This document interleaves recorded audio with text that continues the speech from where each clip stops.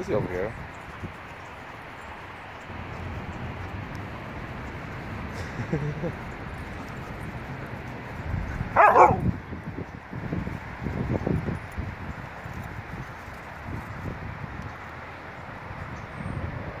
Chelsea.